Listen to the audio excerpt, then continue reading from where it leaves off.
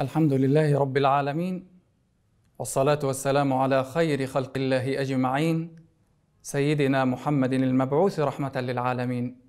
فاللهم صل وسلم وبارك عليه وعلى آله وصحابته أجمعين. من أعظم ما يكون في الإسلام صفاء القلوب نقاء القلوب فهي محل نظر الرب إلى العبد. ومن أهم علامات الصفاء العفو. ولعظم أمر العفو عند الله لما أمرنا الله به اختلف عن جميع الأوامر. في القرآن الكريم وفي السنة افعل كذا لا تفعل كذا لكن إن تعلق الأمر بمفتاح من أعظم المفاتيح لأبواب الرحمة يجيء الأمر بالمسارعة أسرع أقبل. هلم دون تفكير. قال جل وعلا وسارعوا إلى مغفرة من ربكم وجنة عرضها السماوات والأرض. أعدت للمتقين. من هم المتقون يا رب؟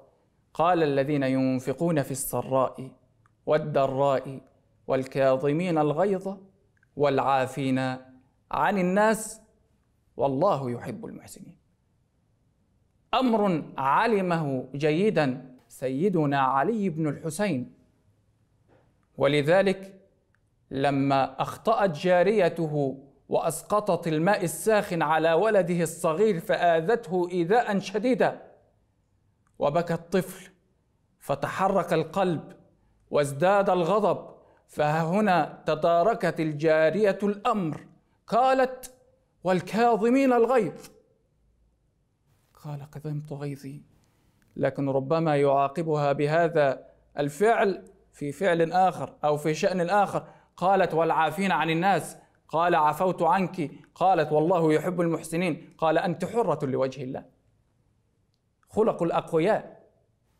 بعض الناس يظن أن القوة الحقيقية في الأجسام وفي البنيان. لا أعظم قوة حينما يتحكم الإنسان في نفسه أن يقودها ولا ينساق إليها. من أعظم النعم. ولذلك النبي صلى الله عليه وسلم يسأل الصحابة ما تعدون الصرعة فيكم؟ القوة فيكم؟ قالوا الذي لا يصرعه الرجال. فقال صلى الله عليه وسلم لا إنه الذي يملك نفسه عند الغضب. كثير من الناس انقلبت عندهم الموازين وظنوا أن العفو ضعف وذلة ومهانة. وما علموا أنه طريق العزة. ولذلك النبي صلى الله عليه وسلم يقول في الحديث وفي إحدى رواياته يقسم يقول ثلاثة أقسم عليهن ما نقصت صدقة من مال وما زاد الله عبدا بعفو إلا عزا. إن عفوت فقد دخلت في كنف العزيز فمن الذي يضعك في المذلة أو المهانة. اعلم أنك في العزة بالعفو. وما تواضع أحد لله إلا رفعه الله. العفو من عظمه أمر الله به النبي فقال له خذ العفو وأمر بالعرف وأعرض عن الجاهلين.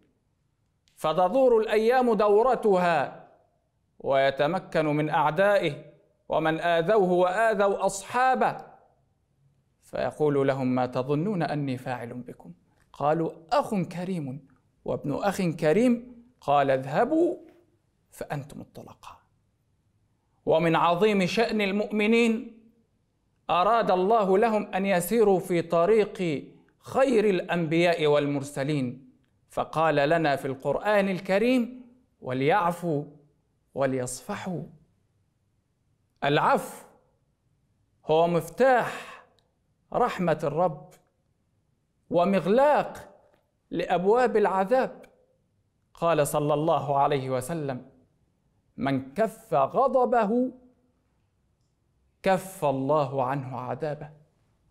العفو مفتاح العزة والمكافأة في أصعب المواقف في يوم القيامة حيث يؤمن أمام الناس ويكافأ أمام الناس في هذا الموقف العصيب. قال صلى الله عليه وسلم من كظم غيظا وهو قادر على أن ينفذه دعاه الله على رؤوس الخلائق يوم القيامة. لماذا؟ حتى يخيره من الحور العين ما شاء. اللهم اجعلنا من أهل العفو يا كريم ومن أهل رحمتك في الدنيا والآخرة يا رحمن يا رحيم وصل اللهم على سيدنا محمد وعلى آله وصحابته أجمعين.